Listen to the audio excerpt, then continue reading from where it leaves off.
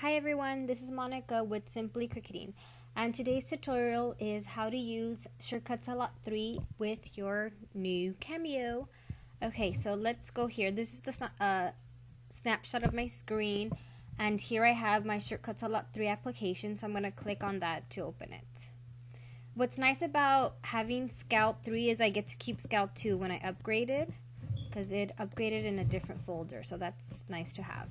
I'm going to maximize my window and I'm going to click on my view and hit fit to window so I can see the whole map, which is the 12 by 12 cameo map.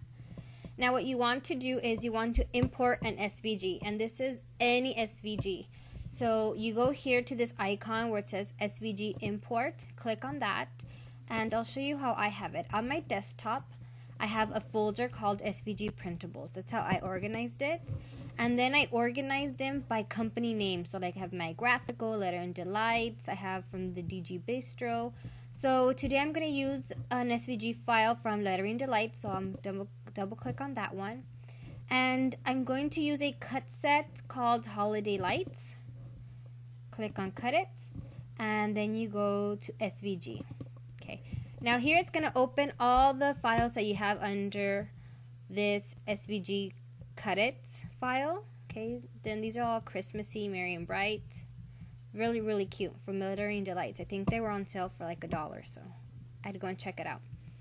But what I'm going to do is I'm going to use the snowman here. He's really cute. I'm going to make some thank you snow much cards and I'm using him as my main point.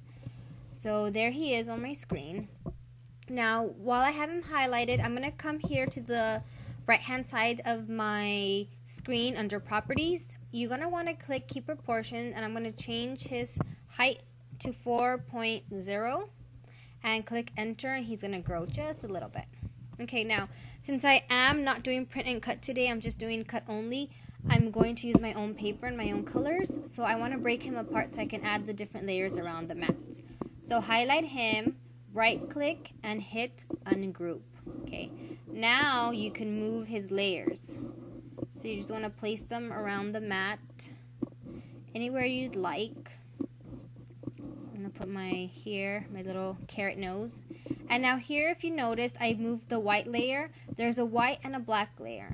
What I realized is the white layer, all it cuts is the same cut as the black layer, but it cuts out the two circles for the eyes. So I figured I can just cut out the black layer in white and draw my eyes in. So I'm, I do not need to waste paper that way. Okay, so there it is. So I have my, he's going to be white. This will be another color. This will be a coordinated color. And here we have the layers for the mittens and his little beanie. Now, since I like to save paper, what I'm going to do is I'm going to highlight all of them, right click and hit ungroup. Now I can move these layers up closer here. So I don't need a big, huge sheet of paper. Okay, that looks good. And now, so if I can move all of them, I'm going to highlight all of them, right click and hit group. And now you can move all of them together wherever you like. Okay, now all you have to do is get your paper ready on your mat and you're going to go up here to this icon with the scissors and it's cut with the cutter. And you just have to make sure your model is your cameo. You have a blade holder if you're doing cut. Your material is cardstock and it's going to change the speed and the pressure and then you're going to click on cut and it's going to send it to your cameo.